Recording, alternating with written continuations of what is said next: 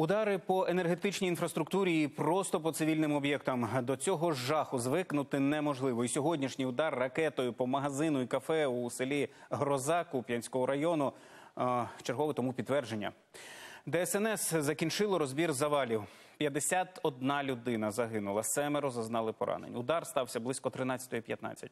За інформацією Нацполіції, в цей час люди зібралися у кафе на поминальний обід. Серед загиблих шестирічна дитина. На місці зараз працюють рятувальники. Усі деталі дивіться в сюжеті Світлани Шикери. По селу Гроза окупанти вдарили ракетою о 13.15. Поцілили в магазин, у якому розташовувалося і місцеве кафе.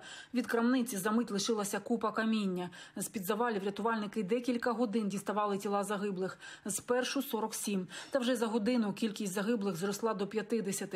Ще один чоловік від отриманих травм помер у лікарні. Серед загиблих дитина, шестирічна дівчинка.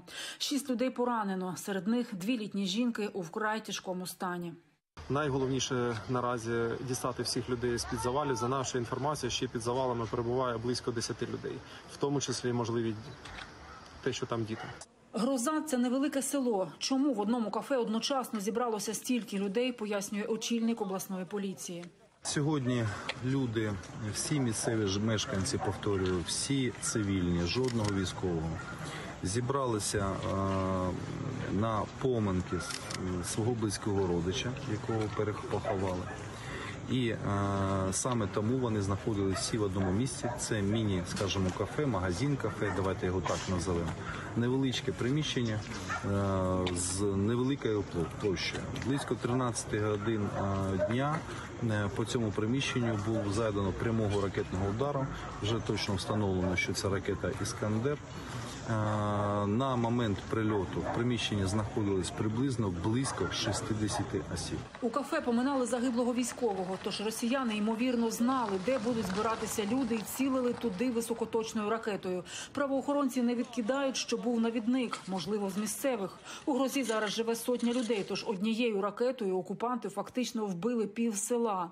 Сьогодні рятувальні роботи вже завершено. Завтра розбір завалів продовжать. Значить, е, поблизу е, прильоту так само вибиті людей всі, всі вікна. Тут організований нами штаб. На завтра будуть знову ж таки працювати щодо ліквідації наслідків. З початку повномасштабного вторгнення це найбільша за кількістю жертв трагедія. В МВС вже назвали її спрямованим терактом. Ну, на мою думку, це е, факт е, прямої агресії проти цивільного населення. І безпосередньо за півгодини до цього удару був удар по місту Береславу е, Херсонської області. Саме по лікарні по ліка... в лікарні було знесено і третій, четвертий поверх. Також розбита частина багатоповерхового будинку, і тільки за щасливою випадковістю і за того, що був сигнал повітряної тривоги, вдалося уникнути в даному випадку в Херсонській області таких великих жертв. Відзавтра на Харківщині оголошено триденну жалобу за загиблими. Світлана Шикера, Олександр Яновський. Подробиці телеканал Інтер. Марафон. Єдині новини.